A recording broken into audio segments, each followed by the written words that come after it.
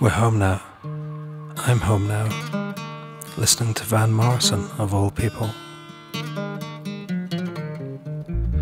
Here in Fife, it is quiet. I live in a tourist town, but right now, there are no tourists. Selfishly, I am loving this quiet, this freedom to walk around without dodging ice cream gathered youngsters. I have had a dozen, and then a dozen, and then a dozen more interviews. I've smiled down the phone. I have misheard questions due to my staring out of the window and replied with the first thing that came to my mind. No one has noticed, or at least, no one has complained. I have worn a silly hat for a Zoom call. I have feigned an interest in the Scottish actor from Doctor Who. I have dragged up old memories of old comrades and told vanilla tales of our times on the road. Was years ago. Do you really want to talk about that?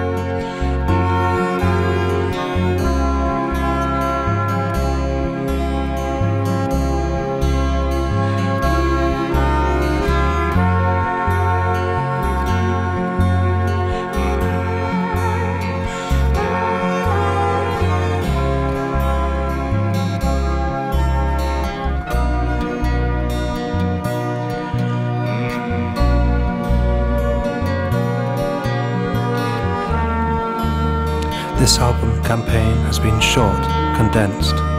It has been world scattered strangers discussing the album as a happening. The fact that there were so many of us in the studio doing our thing. It felt entirely normal then, of course. But now, within the lockdown, it seems like an excessive luxury, those bodies in a room. The sort of thing only a Premier League footballer or an errant politician could afford to do and I wonder when we will next be back on the road. I can assure you, I do not miss the airports, and I can assure you, I do not miss the motorways.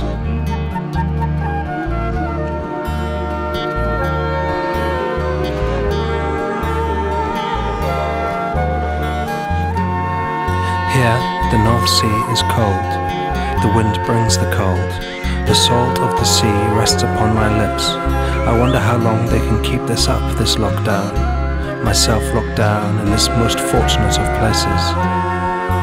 I've only done one or perhaps two live on the internet song shows.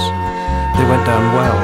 There was a camaraderie amongst the viewers. And what was interesting were the comments from those who couldn't usually make it to a show, regardless of COVID, due to health or finance or geography. They seemed genuinely pleased that I'd made the effort yet another mutation of the virus.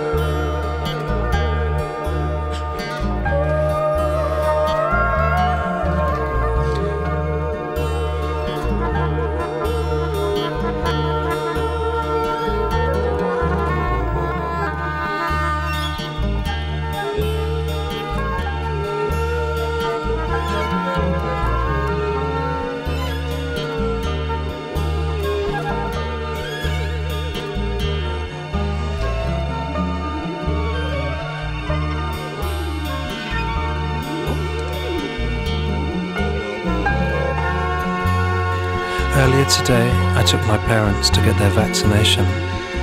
Yesterday, one of their friends got their own vaccination, but she had slipped on the ice on the way out and broke her ankle.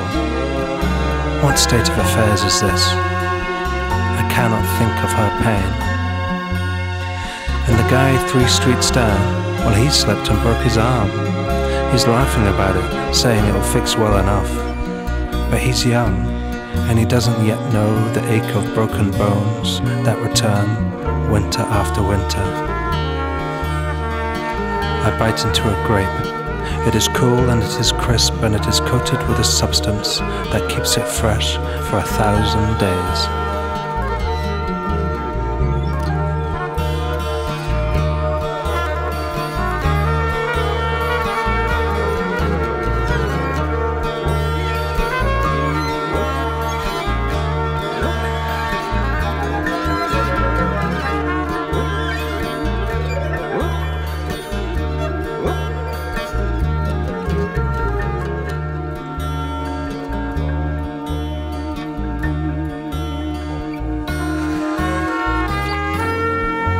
There's a legend in this village, a myth, a ghost story from 100 years ago.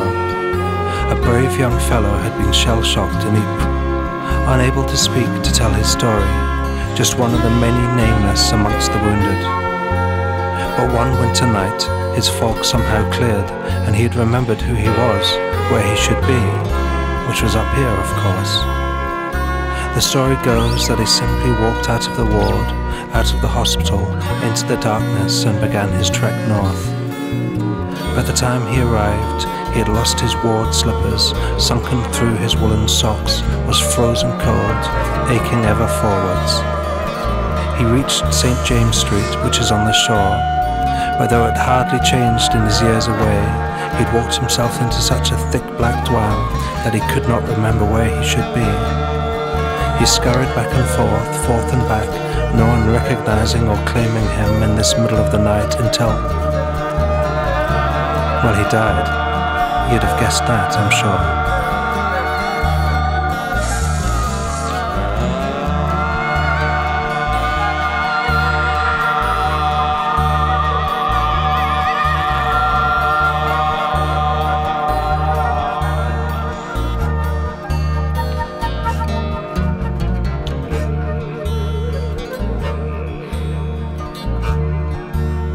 But that wouldn't be much of a story, however tragic. No, it continues, as on a certain day, if the weather is right, if the cold has descended, the shadow of the salt of memory of his spirit can still be seen, lurking into windows, trying to remember, to remember where he should be. And my studio is on that street. Every time I lift a guitar, open a door, or pull a blind, I expect him to be waiting, listening, smiling perhaps, reminding me how lucky I am.